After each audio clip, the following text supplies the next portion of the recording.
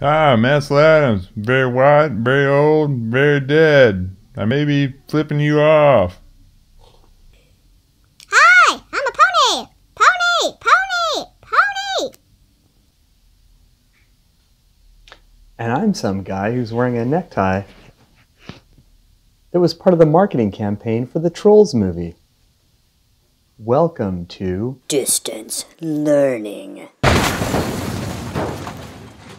Hey, here we go. Welcome to week 12, something like that. Um, so if we scroll down here to this magical thing, we'll see we are now in unit 3